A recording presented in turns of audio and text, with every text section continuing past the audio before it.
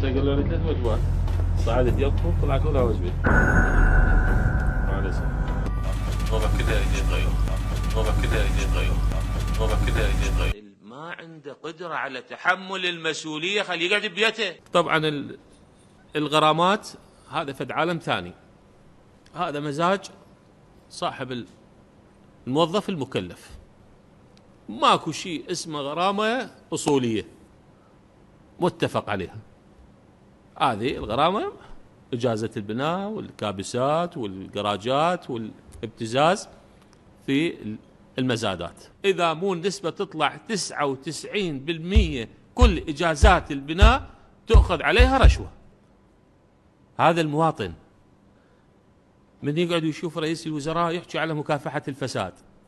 وهو الصبح جاي موظف البلدية وماخذ منه رشوة على إجازة البناء. يضحك لو ما يضحك. يقول يحكي رئيس وزراء يا مكافحة فساد. لو هذا المواطن اللي راجع دائرة بلدية وما تمشي معاملته إلا يخليه لفت. كم مرقة؟ بالجرارة.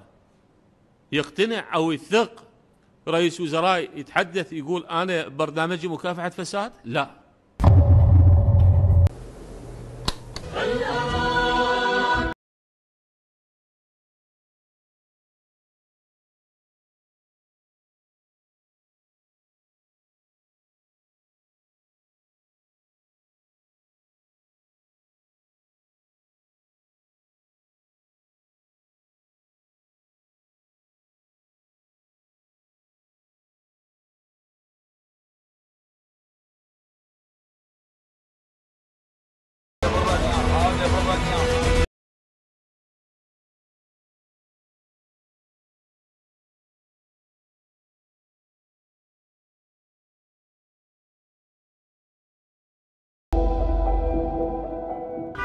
السلام عليكم.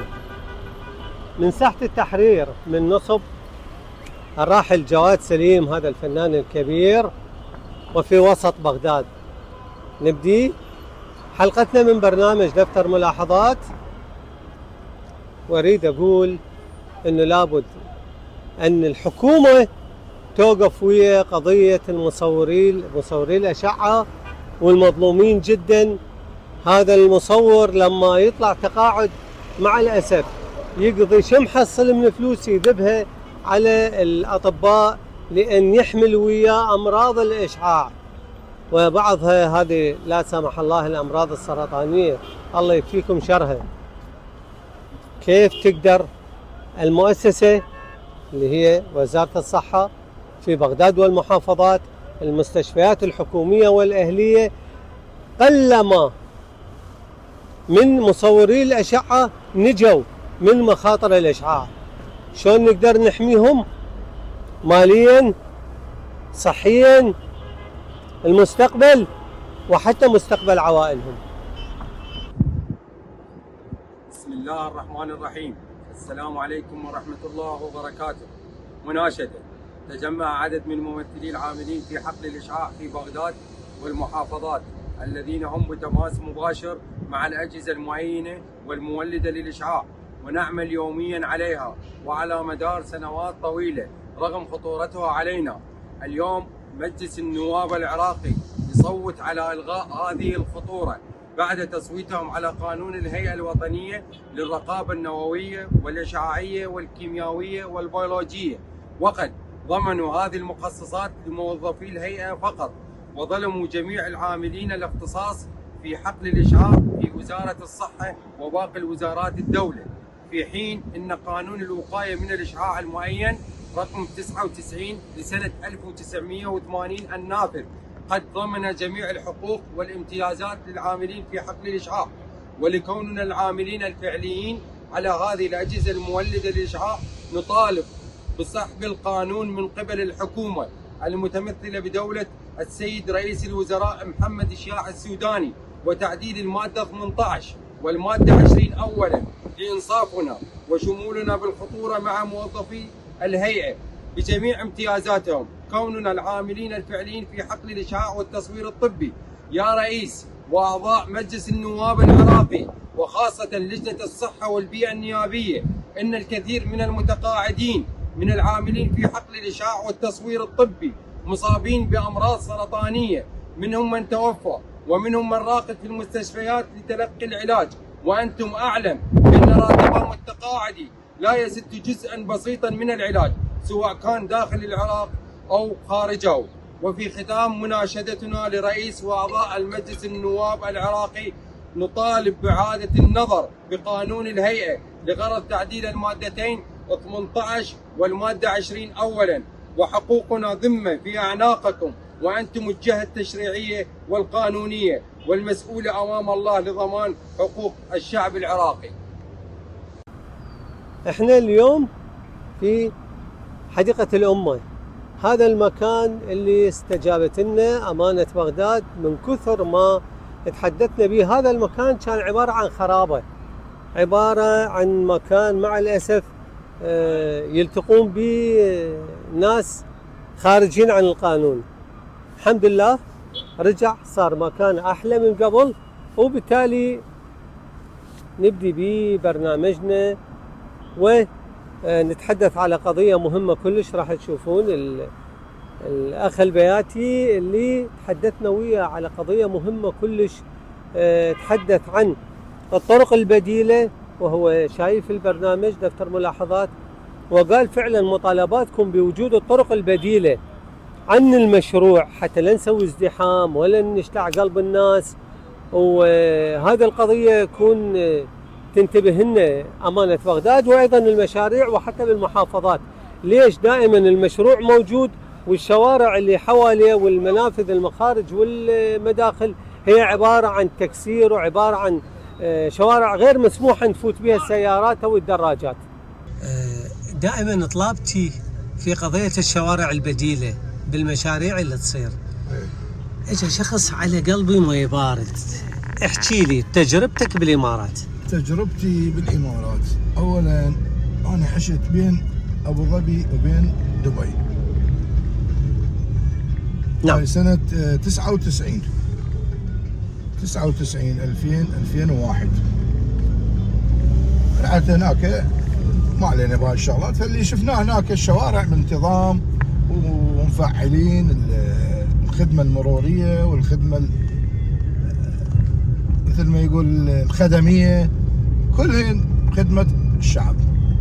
إنه إذا صار عندهم مشروع أي مشروع يصير عندهم خاصة المشاريع يعني جامعات بالطريق يبنون. مثلا يسوي فد نفق يسوي highway يسوي فد شغلات يسوي قبلها يعلن عنها فترة زمنية يعلن إنه أكو طريق راح ينسد فراح يصير detour أو تحويلة. وين تصير هاي التحويلة؟ تصير محاذيه للشارع الأصلي أو المشروع الأصلي اللي راح يصير بحيث ما تحس إنه أنت جاي ودا تطلع بهذا الشارع. كأنه الشارع الأصلي مو الشارع البديل يعني الشارع الأصلي مبلط وعلامات المرورية. الشارع الأصلي هو شارع أصلي مبلط ودولي يعتبر دولي أي. والإنارة مالته. أي. إنارة مالته دبل إنارة. يعني على السايدين وعلى بالنص الجزرة عمود موجود أي. عمود لا يعني. من دا تحكي على الشارع البديل. كأنه شارع أصلي كأنه بكل تفاصيله. كل تفاصيله شارع أصلي. بس الإنارة أقل من الإنارة الأصلية. زين. تدري لأنه هاي كيبلات وشغلات ومحور كيبلات. يعني مو مو شغلة آه، هذه من أي سنة كنت تلاحظها؟ اني هاي قبل ال 2002 قبل 2002 لأن أنا رجعت 18 9 2002 من الإمارات. وبالإعلان وقبل- بالإعلان شو يقولون؟ قبل وقبل ما كانت أكو آه، يعني ال- بين الدولتين بين دولة العراق والامارات ما كان أكو طيران كان ال- البواخر فقط اي أو عن تروح- طريق جبل أو, علي أو تروح عن طريق غير دولة تقدر يعني من الأردن تقدر تطير أو هذا بس الطرق البديلة يعني يعلنون عليها يعني أقل شيء فد أسبوعين 10 أيام شو وين يعلنون؟ يعلنون بال... أكو. شو اسمه الوسيط عندهم جرايد الوسيط عندهم. جرايد المحلية عندهم إذاعات. كلها موجودة يعني. عندهم محطة الفضائيه دبي كانت. وي- وينبهون الناس. ينبهوا الناس بأنه اكو شيء. وبعدين المشروع يطلع ويصعد بدون إزعاج للناس. بدون اي يعني أنا مرة من المرات بأبو ظبي كنت ساكن بمنطقة اسمها مصفح خليفة. هاي نعم. كانت الشيخ خليفة قبل ما يتولى المنصب رئيس دولة الإمارات. كان الشيخ زايد الله يرحمه كان موجود بيها. شنو كان ال- الموجود فد يوم صادف إنه عطل بالكهرباء كامل المنطقة. راح يسوون راح يسوون صيانة لهاي المنطقة. تدري إيش سووا؟ والله العظيم مالك يمين علي نعم. يعني ماكو داعي للحلفان هي شغله آه نبهوا العالم قالوا بأنه راح تصير قطوعه قطوعات كهرباء وراح تصير بحيث إنه خاف تحسون بيها إيش وقت؟ ورا ال 12 بالليل. يعني على الخ- 12 على الخفيف ال 12 احتمال أربع ساعات احتمال ساعتين احتمال خمس ساعات. والعالم أكثرها ما حست بها ليش؟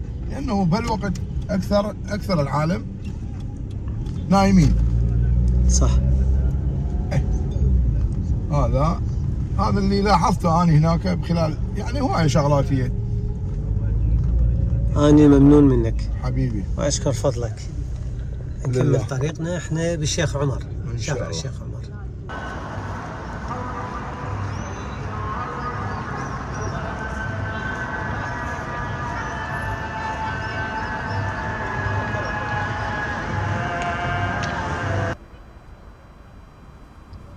آه، لأول مرة يظهر ويانا مدير المرور العام اللواء الحقوقي محمد محمود التميمي واستفاضينا بالكلام وياه على قضايا عديدة تخص المواطن.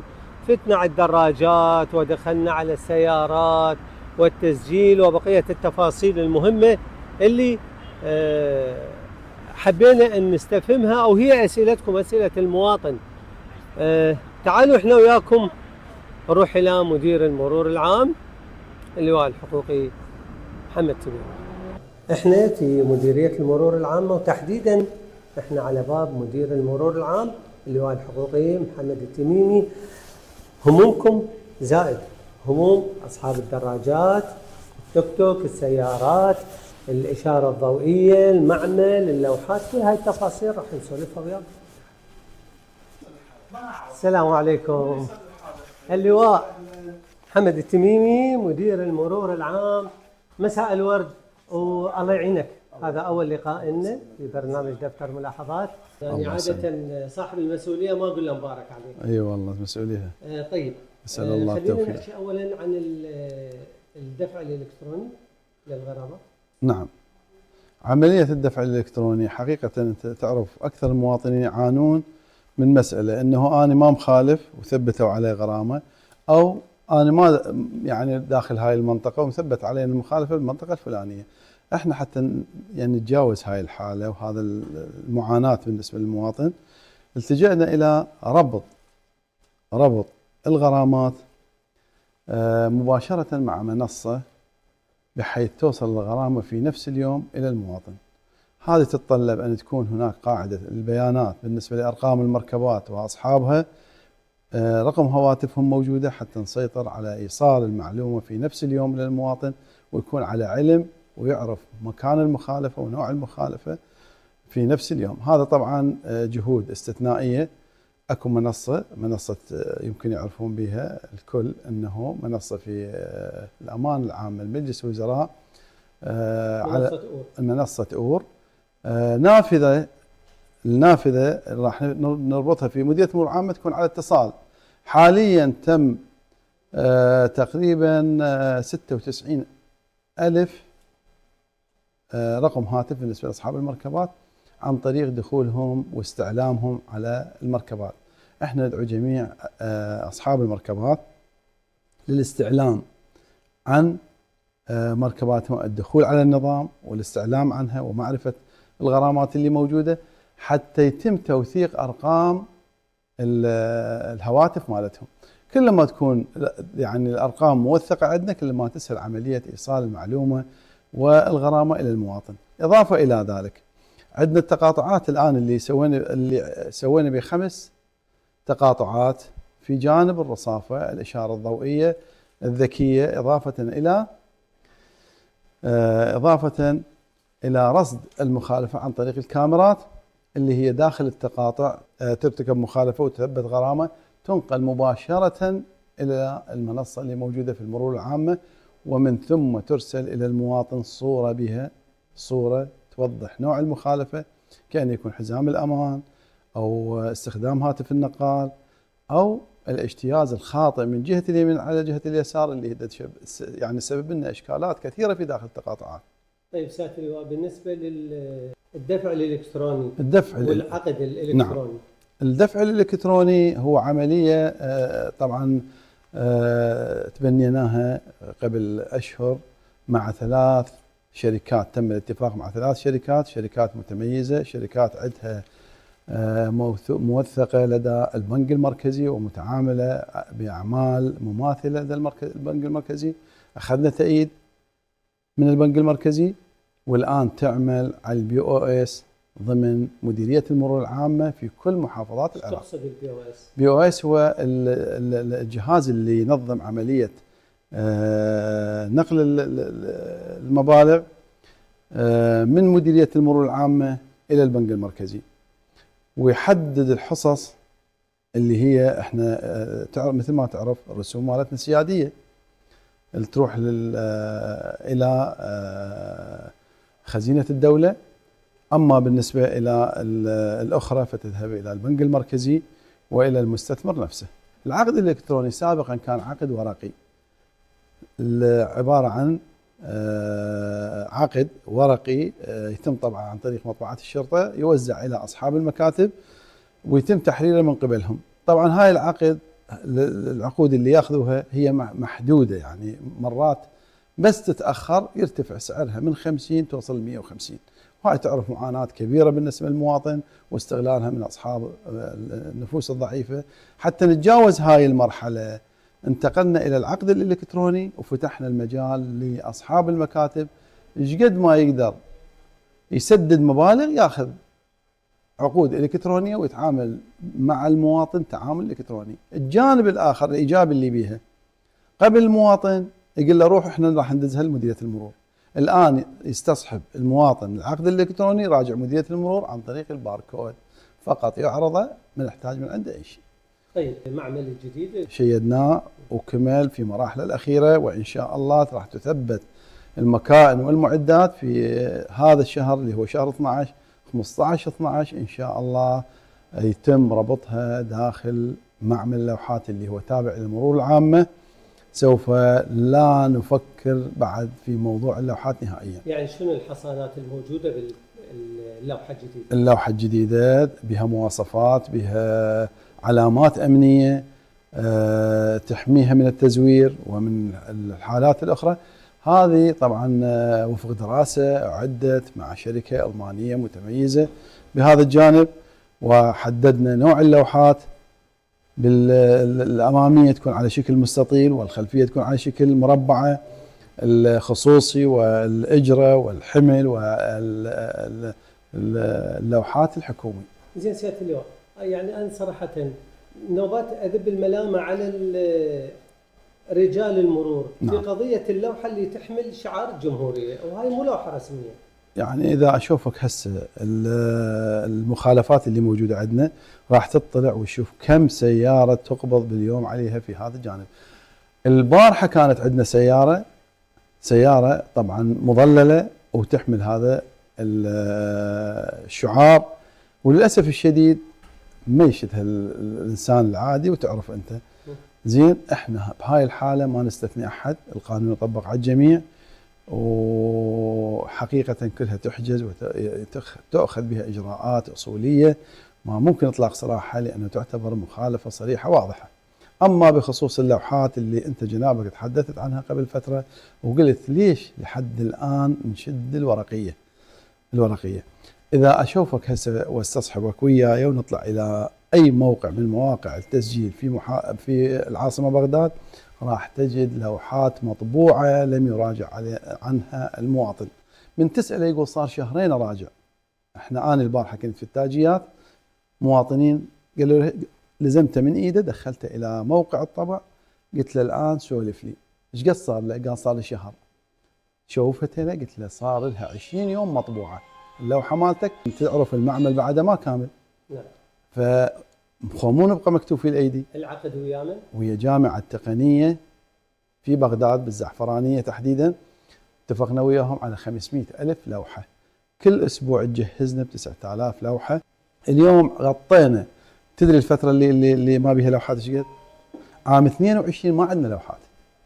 فهذا التراكم مو بيوم وليلة. إحنا بدينا بشهر الرابع تقريبا. بشهر الرابع بدينا بالاتفاق مع الجامعة التقنية وتجهيزنا باللوحات لكن اليوم أقدر أقول لك سيطرنا أقدر أقول بنسبة 70% على اللوحات ونطمح أن نصل إلى مرحلة إنه في نفس اليوم اللي تنجز المعاملة تسلم اللوحة وتثبت في نفس اليوم. زين سيد اليوم أعداد الدراجات والتوك توك كلش كبيرة. ومدى يلحقون يعني أنا بنفسي شفت السيره اللي بالبصرة خلينا نقول بالدارج العراقي بس الله العالم اللي وين وش دا تنطون وقت أيضا هم لا تزالوا. هم ترى حقيقه دا يروحون يعني أنا حاكي ويا أصحاب الدراجات نعم. ويا أصحاب التوك توك. إحنا للجانب الإنساني وكون هاي شريحة آه، فقيرة ومصدر عيشتهم ثلاث مرات إحنا مددنا مع الإعلام المستمر والتوجيه واخواننا تعالوا سجلوا إحنا لو تعرف اليوم شو مسوين اليوم إحنا ما نسجل دراجات اليوم نسجل دراجة داخلة بشكل غير شرعي للبلد. حديدة نسجلها أيضا فتحنا الباب اعتبرنا حسب توجيهات معالي وزير الداخلية وموافقة دولة رئيس الوزراء إنه هاي أصبحت واقع حال داخل البلد. شنو الحل مالها؟ الحل أول شيء منعنا استيراد الدراجات بشكل نهائي. اثنين الأدوات الاحتياطية اللي تدخل كفرصة نهائية وثقفنا عليها كثيرا. أخوان استغلوا الفرصة لأن هاي لا تفوتكم وهذا الأمل الأخير. وفعلا يعني إجوا أعداد كبيرة إلى مواقعنا وسجلوهن راجعوا الجمارك ووردتنا عن طريق القرص سجلناها. المواقع مالتنا استمرت إلى ساعة متأخرة من الليل لإنجاز معاملات المواطنين. وأنا كان بإشرافي موقع هو أثقل موقع عندنا هو موقع التاجيات. والكل مشيناها إلى آخر مراجع الامام حمد تميمي مدير المرور العام منو هذه الساحة اللي دا تشوفوها واللي هي خلف نصب جواد سليم رحمة الله على روحه آه، مكان حلو ويلم العوائل. أتمنى من الجهات ال- المهتمة بالثقافة والفنون والرياضة أن يستخدموها آه، كان تكون آه، ألعاب رياضية سكيتينج مسرح معارض فنية أتمنى على المهتمين أن آه، يشوفون آه، فد شيء لهذا المكان.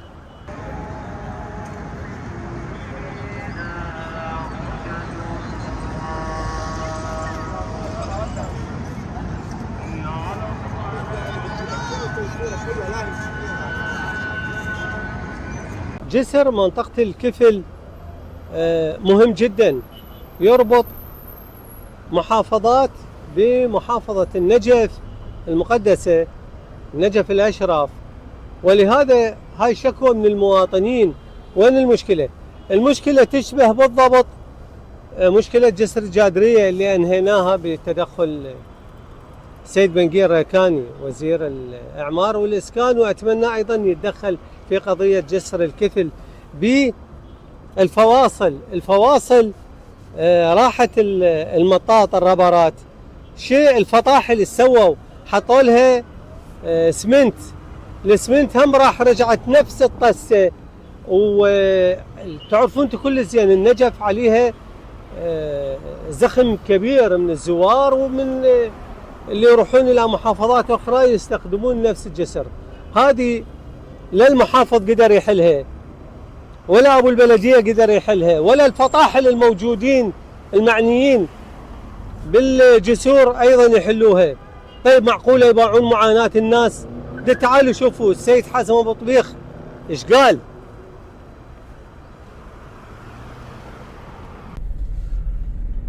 أستاذ فائق سلام عليكم. أستاذ فائق هاي مناشدة من كل الناس حقيقة اللي يعانون من جسر الشفل جسر الشفل المشكلة اللي صايرة بيه هالازدحامات هاي دا أشوف هسه بسبب شغل فني. شغل فني أأكد شغل فني. مثل جسر الشادريه فواصل التمدد فواصل التمدد أكرر فواصل التمدد حولوها إلى مطبات. صارت مطبات. بيها كونكريت خلوها مكان فاصل التمدد خلوها مطبات. فالسيارات أربع مطبات بالجسر أو بالأحرى خمس مطبات بالجسر. فالسيارة تتوقف خمس مرات وتشوف أنت إيش قد تأخذ وقت وإيش قد راح تصير. هذه الازدحامات كلها بسبب المطبات اللي صايرة مكان فواصل التمدد.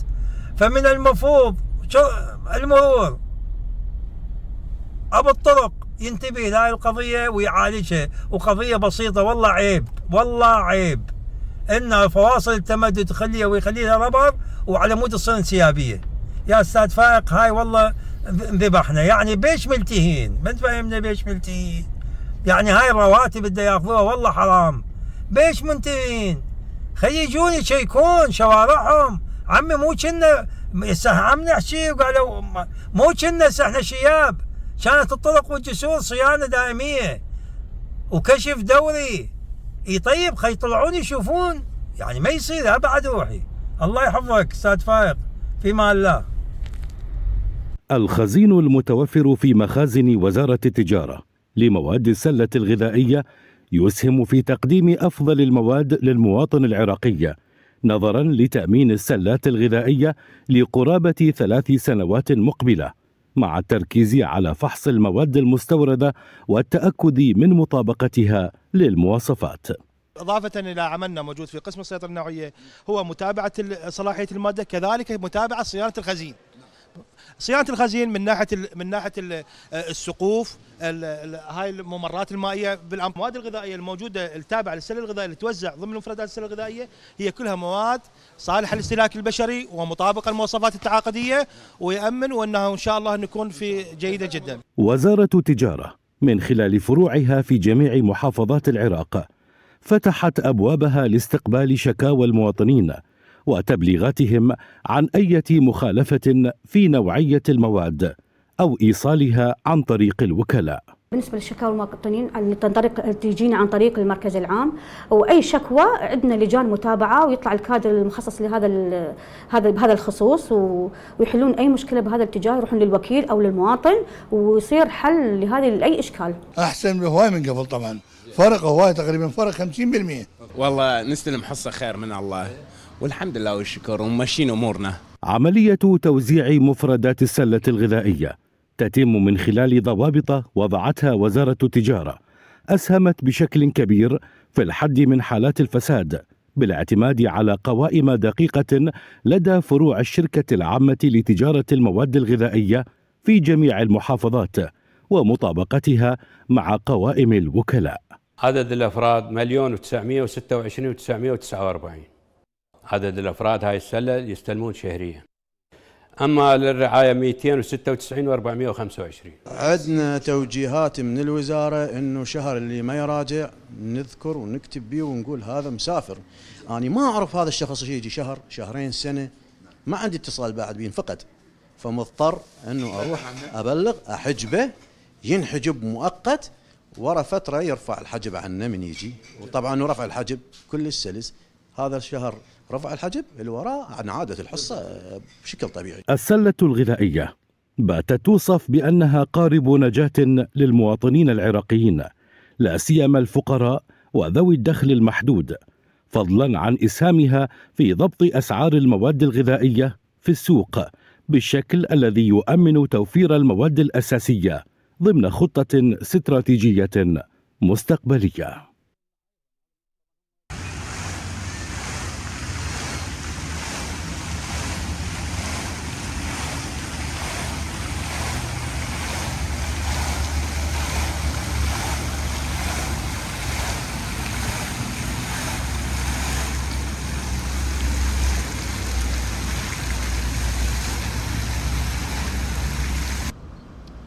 نحتاج إلى عشرات المكانات والحدائق العامة اللي ببلاش. لأن هسه أي عائلة تريد تروح إلى أي مطعم أو مكان حديقة وبيها مطعم يكتون الأكو والماكو ما يحصلون على كل شيء. هنا تقدرون تدخلون مجانا لكن مع الأسف أكو خدمات مهمة كان المفروض تكون موجودة. مع الأسف بالبداية أول الفتحة أول افتتاح الحديقة كنا نلقى الشرطة المجتمعية كنا نلقى آه، هواية من الناس اللي يحسسون المواطن بالأمان.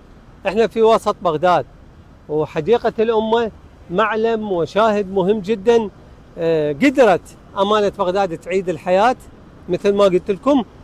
لكن نحتاج خدمات أن تكون أكشاك لخدمة المواطن مأكل مشرب بقية التفاصيل اللي يحتاجها مرتاد هذا المكان.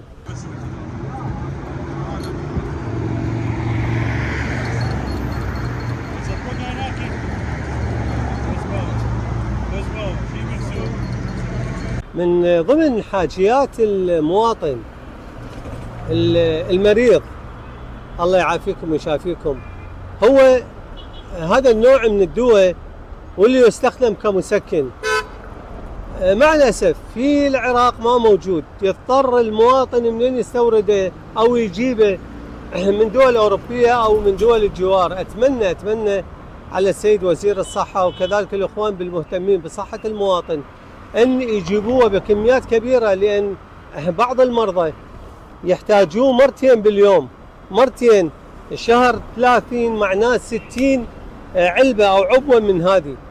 كيف يقدر السيد وزير الصحة وأيضا أوجه كلامي إلى الحكومة أن تشوف شارة في هذا الدواء وأدوية أخرى كونوا يسوون لنا شاره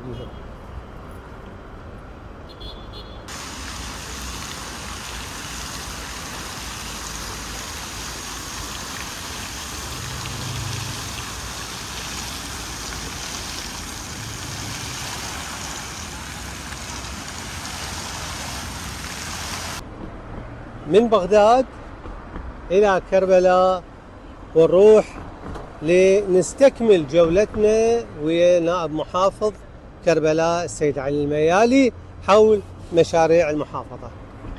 بس هذا الشارع قيد الانشاء هذا. صراحة ادخل عليه.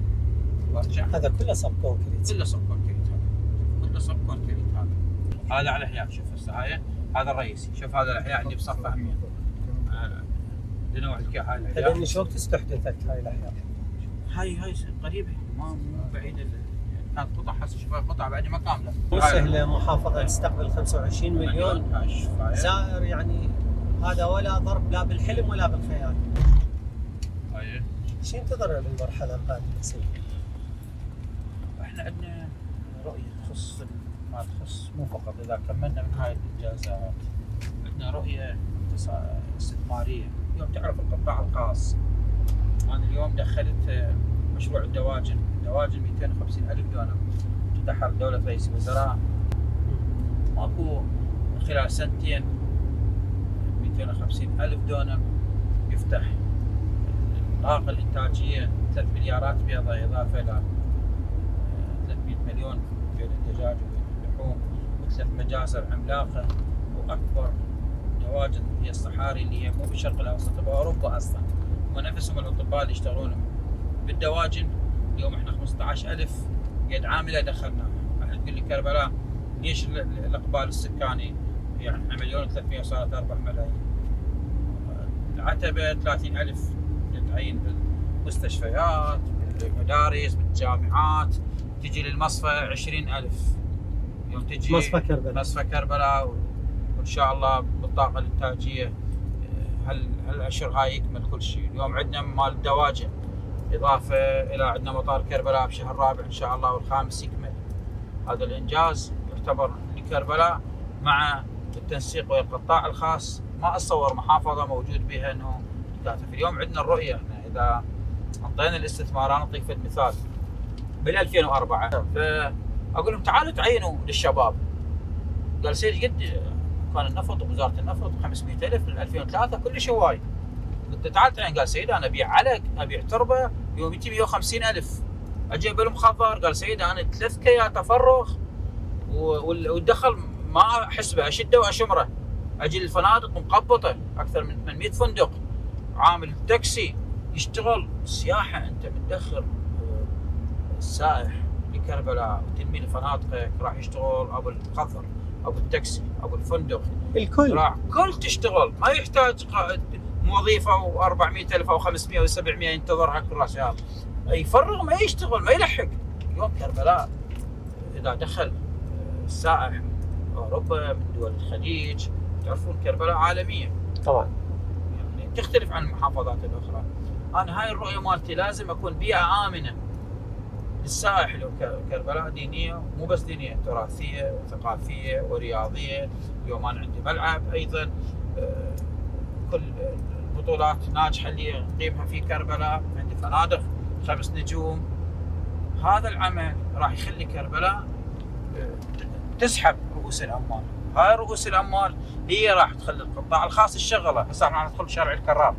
شارع الكرار كان المتر المتر 3 مليون اليوم 25 مليون وصل.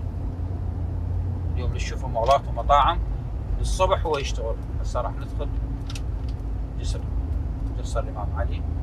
راح نعبر وندخل شارع الكرار. أصلا هذا كان متلكع 10 سنوات شارع الكرار. أتذكر جينا عليه ومسحوب. والشخص المقاول بايع على شخص ثاني. شوف هاي اليوم كل 12 للوحدة بالليل.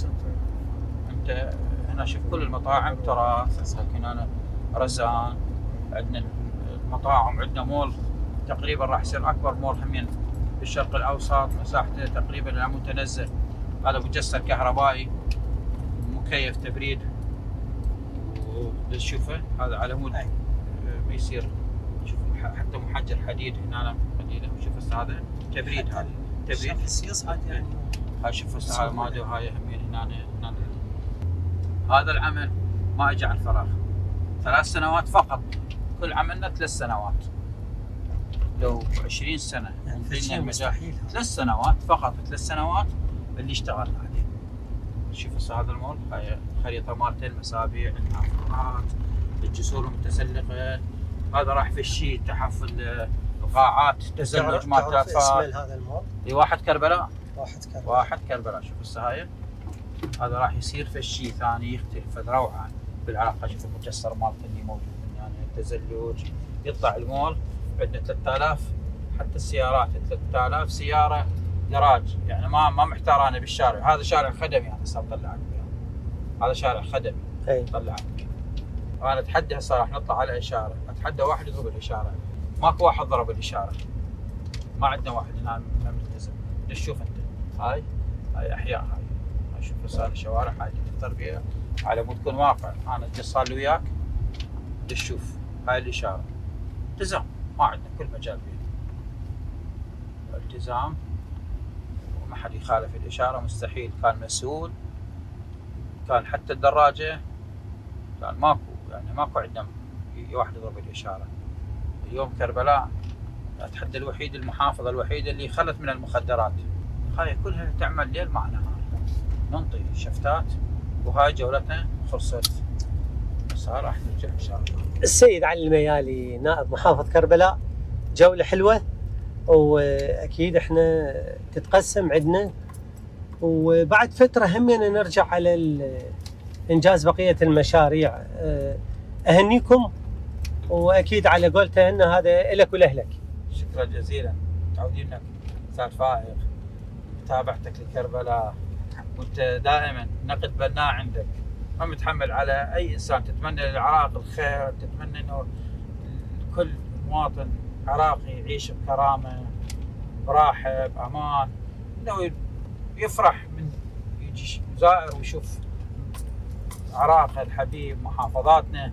إنه تطور إنه حالة حال البلدان المتقدمة. وهاي أمنية كل عراق. إحنا ما نريد شيء. اليوم إحنا الكربلائي من يطلع محافظات ولا أشوفه يتفاخر بمحافظته بشوارعها. صحيح. هاي هاي إن إن هاي تحسب إن اللي آه، تنافس المحافظات. وأكو تنافس بدا لا تلاحظ تتنافس الكوت تتنافس البصرة. إي بس ما حد يلحق بكم إن شاء الله إن شاء الله. الله. شكرا جزيلا الله سيدنا. يحفظك. يعزك الله. رجعنا من نقطة انطلاقنا. مثل ما بدينا الحلقة من ساحة التحرير نختمها هذه أحلى تحياتي. أنا فاق قاسم العقابي وبرنامج دكتور ملاحظات. تحياتي لكل فريق عمل البرنامج المخرج. إدريس أبو حسين سعدي كان في الإخراج. عندي كلمة أخيرة. هذه المكانات مكانات مجانية لترفيه الناس. نتمنى أن تصير كل هوايه في بغداد والمحافظات وتكون مخدومة لأن الناس ما عندهم.